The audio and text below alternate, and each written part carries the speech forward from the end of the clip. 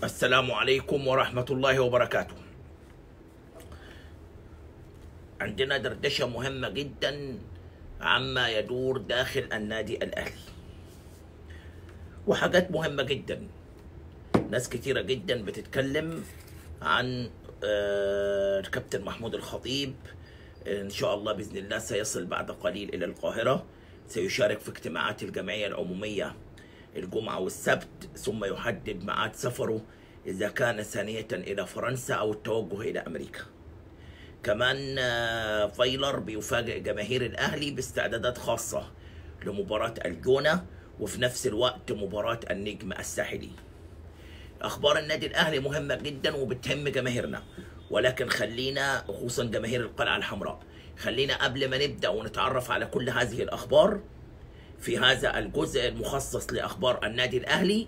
خليني بس أقول لكم لو سمحتوا كلنا نكتب آه، مليون سلامة للكابتن محمود الخطيب ونظل ندعم بالتعليقات وبالكلمات الرقيقة.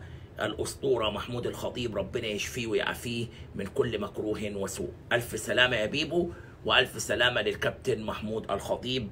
ربنا ما يورينا أي مكروه في أي حد نحبه. ويديم على الجميع الصحة والستر يا رب ويبعد عننا وعنكم شر المرض. مهم جدا إن إحنا نقول سلامتك يا بيبو. ومهم جدا إن إحنا ندعمه وده بيوصل له وبيفرح بيه جدا وبيرفع من معنوياته. خصوصا إن الحالة الصحية إلى حد ما مقلقة. وكلام كتير جدا. يا ترى هيسافر لفرنسا ولا هيسافر لأمريكا؟ ده هيحدده الكابتن محمود الخطيب خلال الأيام اللي جاية. كمان عايزين نتعرف رمضان صبحي في عروض وصلته من الدوري الإيطالي ولا ما فيش عروض لسه وصلته من الدوري الإيطالي؟ وده كلام آه، إعلام ومواقع وصحافة. وكمان نعرف آه، لماذا غضب رمضان صبحي وصرح تصريحه الشهير منذ ساعات. لما قال أرجوكم سيبوا الفرصة للعيبة الحالية. اللي لعبت في بطولة الأمم الإفريقية تحت 23 سنة والمصابين اللي هيرجعوا وبلاش تتكلموا في مين اللي هيتضم من الثلاثة الكبار وإدوا الجيل ده حقه. كان كلام مهم جدا من رمضان صبحي. وكمان وصلنا إن الكابتن عادل القيعي حصل رسميا على التوقيع الرسمي لمحمود كهربا بعد الضوء الأخضر اللي خدوه من مستر فايلر المدير الفني اللي فاجئ جماهير الأهلي وبيعمل استعدادات خاصة لمباراة الجونه ومباراة النجم الساحلي.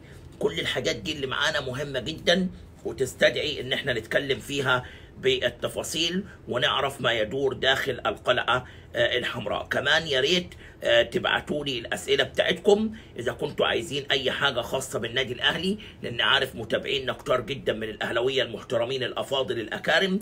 ولو حد عنده أي سؤال يسأل وهينضم إلينا بعد ثواني على طول. خبيرنا المتخصص في شؤون النادي الأهلي الصديق العزيز الأستاذ أحمد السيد. ابعت لو عندك أي سؤال وما تنساش تكتب سلامتك يا بيبو وربنا يشفيك ويعافيك. أستاذ أحمد السيد خبيرنا المتخصص في أخبار النادي الأهلي انضم إلينا. السلام عليكم يا أبو حميد. وعليكم السلام. أهلا بيك يا أستاذ عبد الناصر واهلا بكل متابعين. آه، أستاذ أحمد خليني أبدأ معاك من صحة الكابتن محمود الخطيب.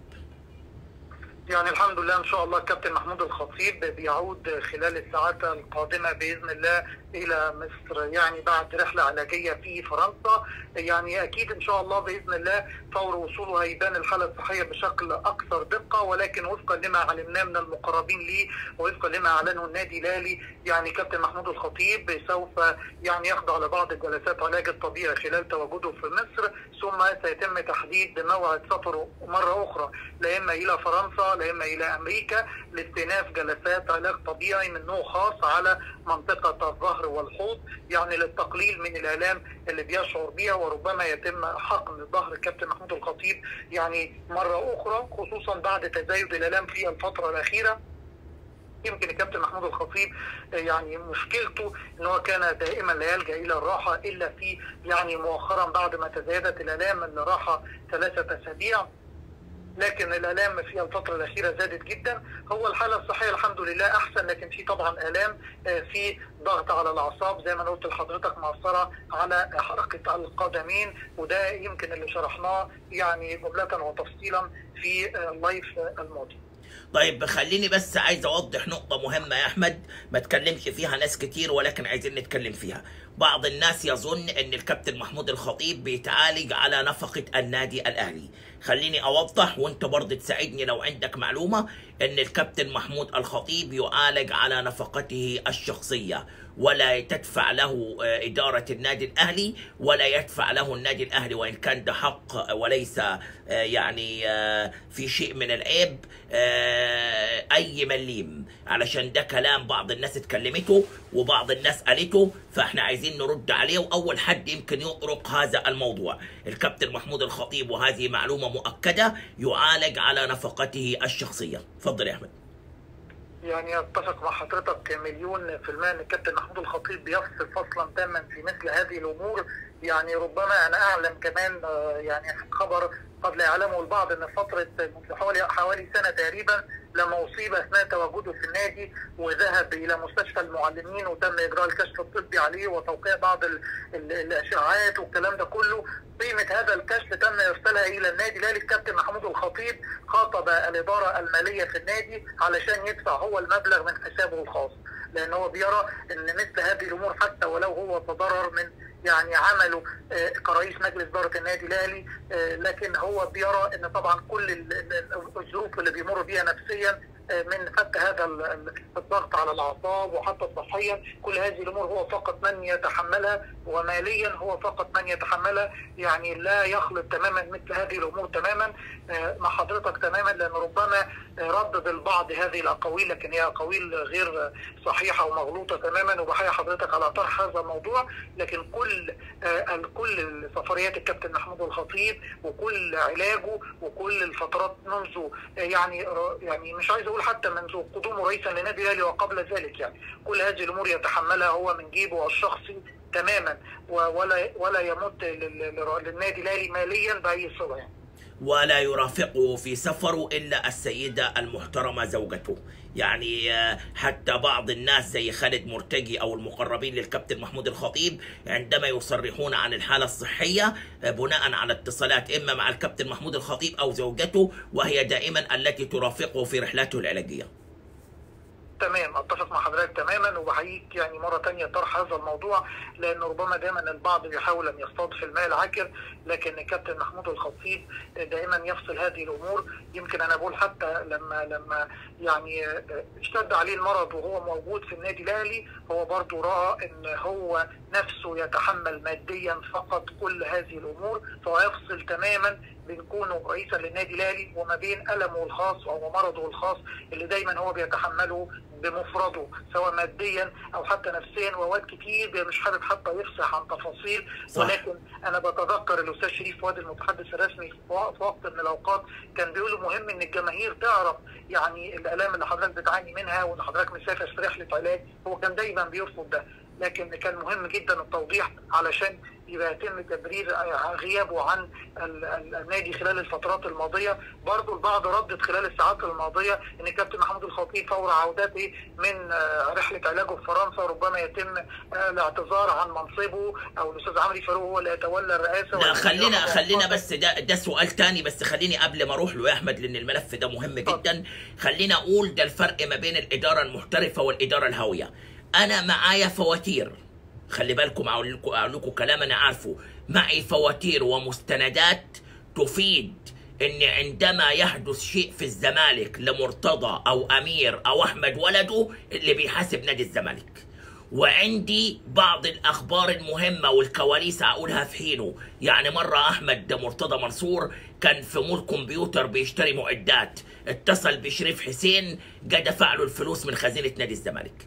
بل بالعكس ساعات بيتم الحساب على أكل وشرب وقعدات خاصة من نادي الزمالك. وأنا عارف بقول لكم إيه عشان كده تعمدت إن أنا أقول ده عشان الناس تعرف الفرق ما بين الإدارتين الفرق ما بين الاحتراف والهواية الفرق ما بين الحقد اللي جوه ده إنه طول الوقت بيسب محمود الخطيب ويهينه لأن الفوارق زي ما أنا دايما قلتها وأنا صاحب الصفقه فيها مليون سنة ضوئية. الفرق شاسع يا سادة وشاسع جدا جدا جدا في الأساليب حتى الإنسانية منها لأن ده الأهلي اللي بيتم التعامل معاه ككيان والناحية التانية دي العزبة اللي بيتعامل فيها مرتضى منصور منصور إنها ملكية خاصة هو وعياله. فالفرق كبير والفرق شاسع. عشان كده التسريبات بتيجي من اللي عينه مكسورة والإشاعات بتطلع علشان إيه؟ أنت مش قادر تبقى زي الأسطورة ده. فدول الوقت عايز تدي إيحاء إنه زيك. ولكن الفرق كبير وإن كانت أمور خاصة اتعمدت اتكلم فيها وأعمل مقارنة سريعة علشان إيه بالكلام ده يتكتب حتى لو كان من منافس لأن مش وقته وكل ما نتمناه أن ندعو بالشفاء لكل مريض ولا نصيد في الماء العكر الحاجة الثانية الزميل المحترم الأستاذ كريم حسن شحاتة اتكلم في الأمس ببرنامجه على القناة الفضائية المصرية كلام في الكورة وقال إن الخطيب لن يخوض الانتخابات القائمة القادمة وإنه سينضم إلى محمود طاهر ضد العمري فاروق. تقارير آه، بعيدة كل البعد عن الواقع كلام لا أساس له من الصحة لا وقت ولا زمان ولا مكانه ولا حد فتح هذا الملف بالمرة لا من قريب ولا من بعيد. اتفضل يا أستاذ أحمد. أتفق مع حضرتك تماما. يعني البعض دايما بيحاول مش عايز أقول يسيء أو يسعى لفرط الفتنة ولكن إحنا دورنا إن إحنا نوضح برضو للناس الحقيقة من خلال. مصادرنا ومن خلال تواجدنا. فمثل هذه المعلومات مغلوطة تماما. أيضا ما قيل أن الكابتن محمود الخطيب صحيا مش هيقدر يستمر في رئاسه النادي الأهلي. هذا الكلام لم يطرح أيضا وكابتن محمود الخطيب يعني يعود بإذن الله يعني بإذن الله يعود في منصبه كرئيسا للنادي الأهلي وهو يباشر حتى عمله كرئيس النادي الأهلي وهو موجود في فرنسا. وبالتالي مثل هذه الأمور مغلوطة تماما تماما. يعني ربما يسعى البعض دائما عندما يكون هناك استقرارا وعندما يكون هناك نجاحا وعندما يكون هناك مناقشة لميزانية ربما تكون هي الأكبر في تاريخ الأندية المصرية. دايما بيسعى البعض لمحاولة إيه؟ يقلبوا الترابيزة كده لكن هذا الكلام مرفوض تماما. ال- الاهلي الأهلي خلال ساعات هيناقش ميزانية المليار جنيه؟ آه آه بالفعل يعني في اجتماع مجلس الإدارة السابق زي ما حضرتك عارف ده على الجمعيه العمومية اللي هتنعقد ال- ال- اليوم 22 نوفمبر يوم الجمعة. سيتم مناقشة الجمعة والسبت ولا الجمعة بس يا أستاذ أحمد؟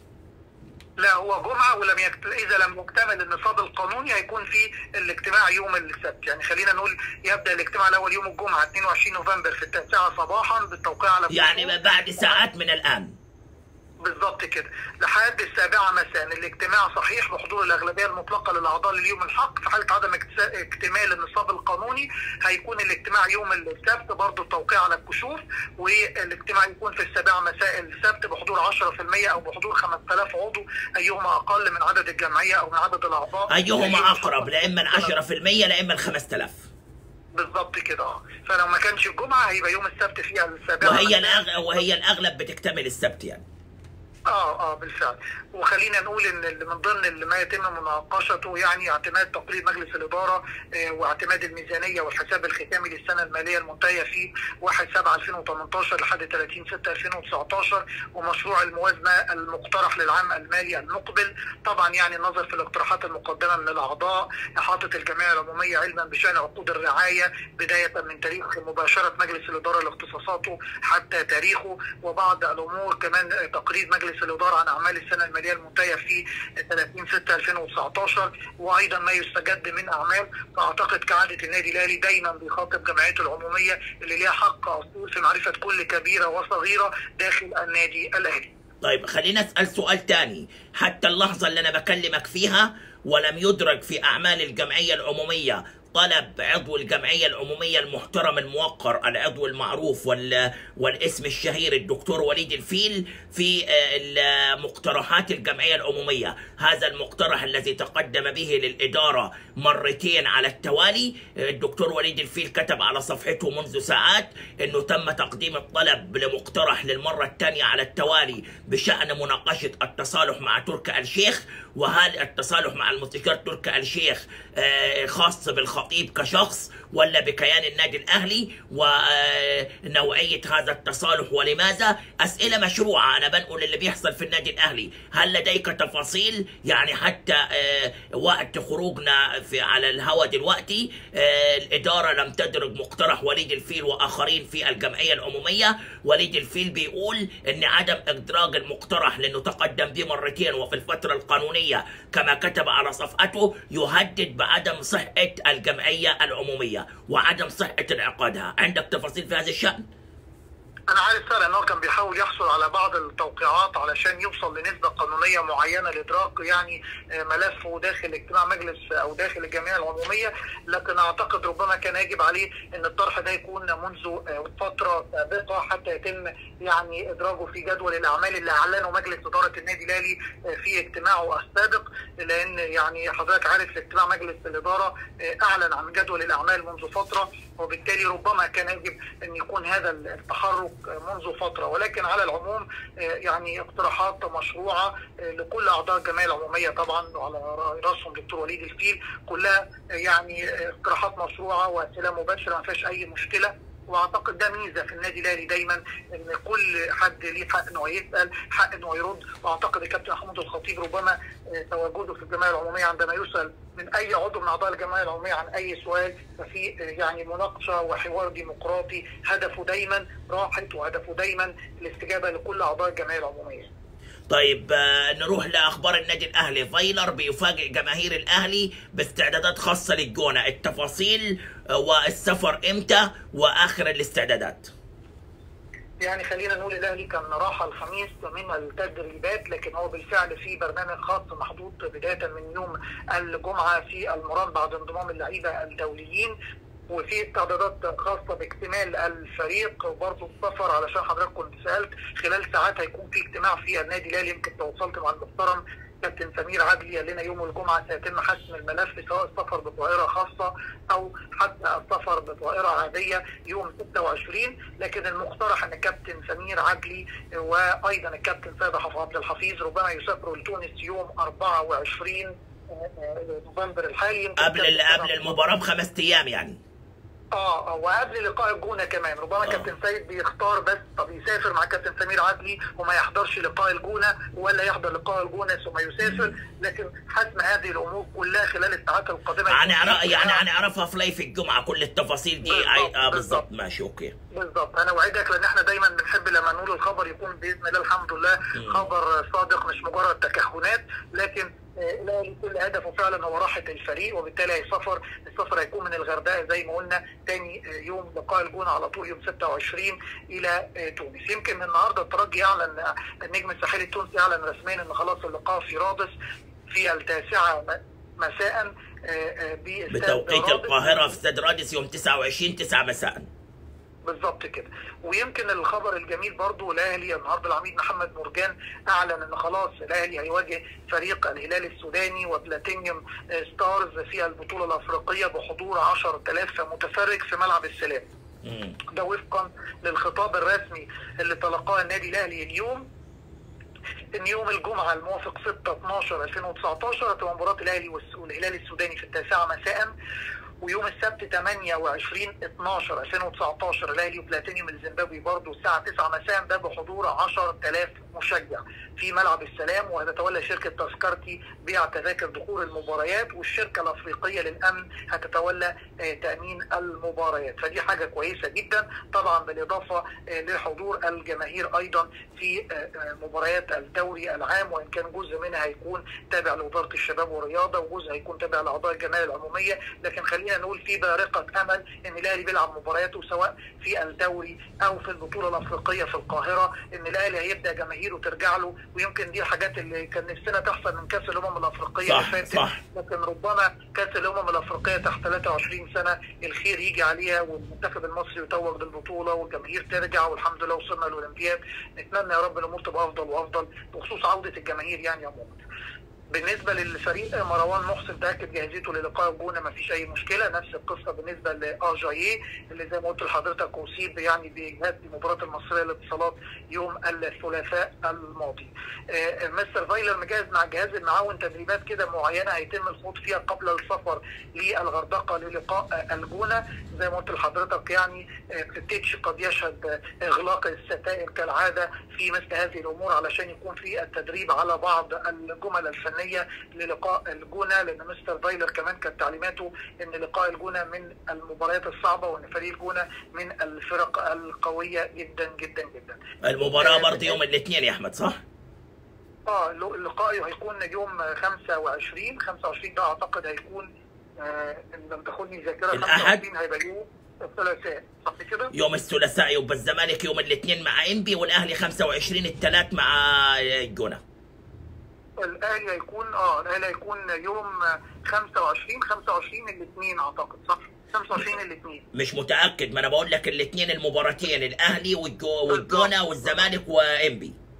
هو 25 25 طلع 2 3 4 خمسة خلينا في 25 عشان إحنا ملناش في الأيام خلينا في التواريخ. آه، بالظبط كده.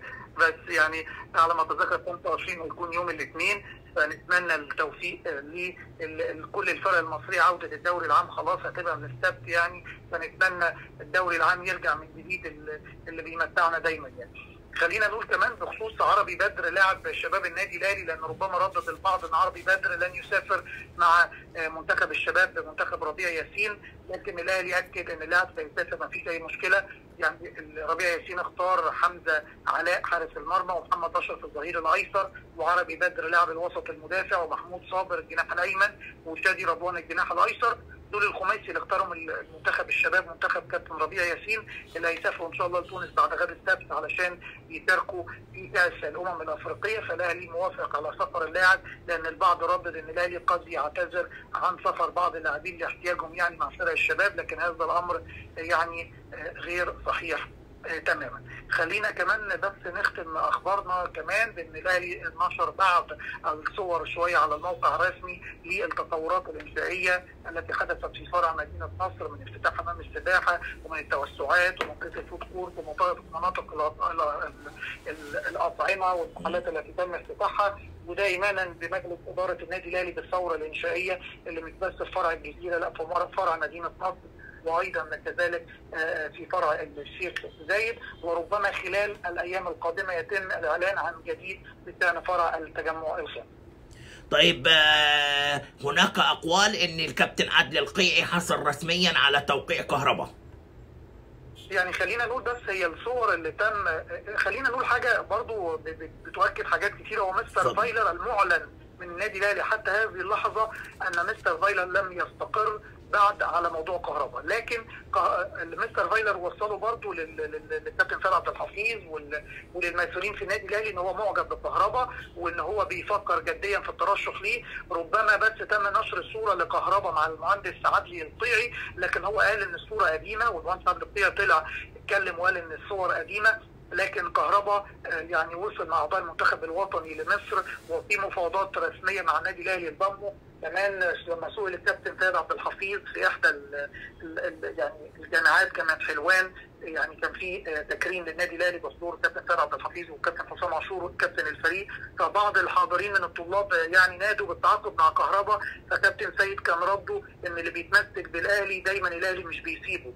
ففي كده مؤشرات و indication بتؤكد على قرب كهربا لكن خلينا نقول الرسمي حتى هذه اللحظة آه، ال- ال- ال- لكن إحنا. إحنا أعلنا وقلنا كهربا في الأهلي. سيبك من الرسمي. بس كده خلاص. أنا بقول الرسمي لكن حضرتك بتقول من مصادرك وأنا باكد هذا الكلام أيضا برضو أن هناك. تحرك رسمي لكهربا ويمكن إحنا اتكلمنا في الموضوع ده منذ أسبوعين لما شارك كهربا في المباراة الودية مع المنتخب ولعب راس حربة فايلر. يعني آه، أكد اقتناعه بإمكانيات كهرباء وإمكانية اللعب في أكثر من مركز.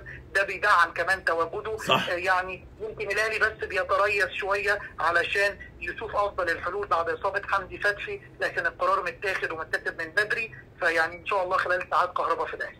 طيب آخر حاجة أسألها لك. رمضان صبحي في كلام على على عروض من إيطاليا.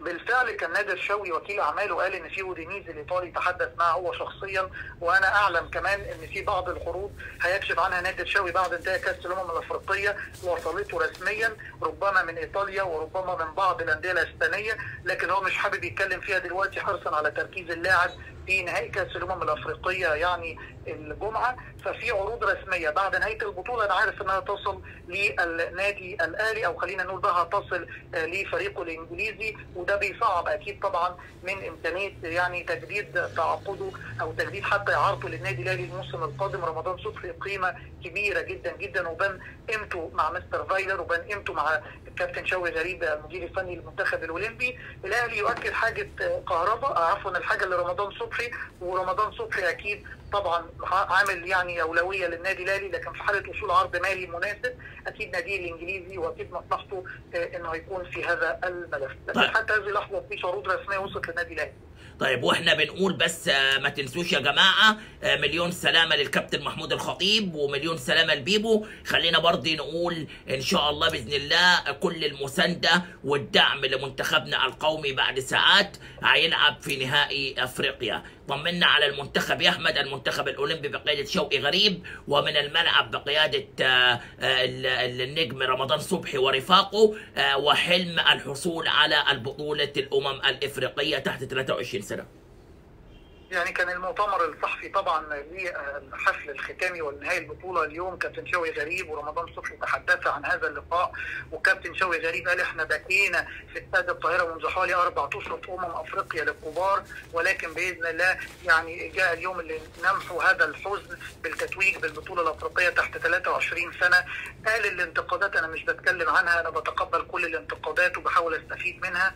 وقال ان الفريق مستعد جدا ل إن شاء الله التتويج بالنهائي قال ان المباراة تكون صعبة جدا مع مباراة كوت ديفوار اللي من الفرق المحترمة جدا طبعاً. وعندها جهاز فني واعي جدا لكن هو عنده ثقة في اللعيبة عنده ثقة في حضور الجماهير للمساندة وقال أتمنى دايما إن إحنا نحقق حلم المصريين قال إن الهدف من البطولة كان الوصول للأولمبياد وهو تحقق ولكن هناك هدف آخر هو التتويج بالبطولة في حضور يعني إن شاء الله حفل ختامي يكون أكثر من رائع رمضان صبحي كمان قال إن هو تعهد مع اللعيبة على ضرورة الفوز أو على بس وكان وكان ليه وكان ليه تصريح غاضب كمان. قال يا جماعة ما حدش يتكلم مين هيتضم من الثلاثة الكبار. احترموا هذا قبل ما تحترموا الأساسيين.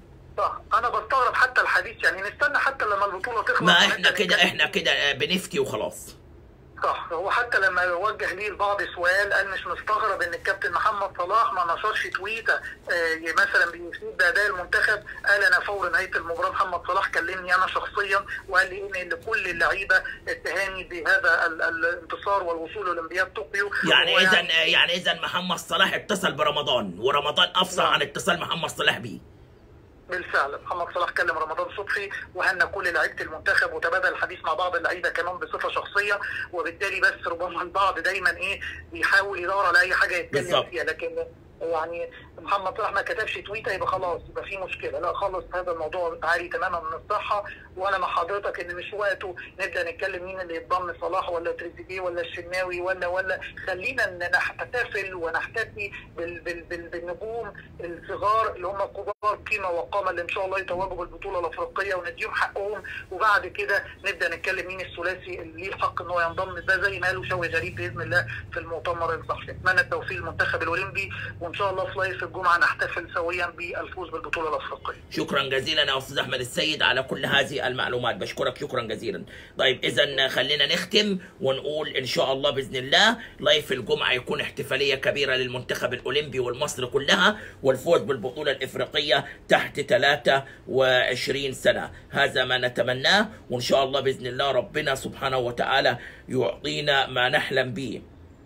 لأن ده مهم جدا يا جماعة. إن شاء الله أقرأ بعض الرسائل قبل ما أقول لكم سلام عليكم وكلنا ندعي للمنتخب بتاعنا بالتوفيق. إن شاء الله بإذن الله النهارده الليلة في تمام الثامنة حفل الختام هيحيي تامر حسني وهيكون مفاجأة كبيرة جدا والحضور كما أعلنت شركة تذكره بإذن الله تعالى يملأ الإستاد والملعب عن آخره بإذن الله تعالى. خلينا بس نقرأ بعض الرسائل وما تنسوش. مليون سلامة لبيبو أنا أهلاوي صعيدي أستاذ أحمد عمر وأتمنى أشوفك في قناة الأهلي. ولا تنسى عند انتهاء من لايف تقول سبحانك اللهم وبحمدك أستغفرك ربي وأتوب إليك. والله يعني إيه؟ ودي نعمة الختام. آه، رسائل كتير ولكن أكتفي برسالة واحدة علشان بس عندي ارتباط مع مع الطبيب. فدعواتكم ربنا يشفي كل مريض ومليون سلامة لبيبو ما تنسوش إذا عجبكم هذا الفيديو نعمل له like على القناة على اليوتيوب واللي مش مشترك يشترك ويفعل زر الجرس. كمان يا ريت نعمل مشاركة و mention لكل الأصدقاء على الفيسبوك وألتقيكم على خير إن شاء الله بإذن الله. live جديد live بطولة الأمم الإفريقية. مساء الجمعة. السلام عليكم ورحمة الله وبركاته.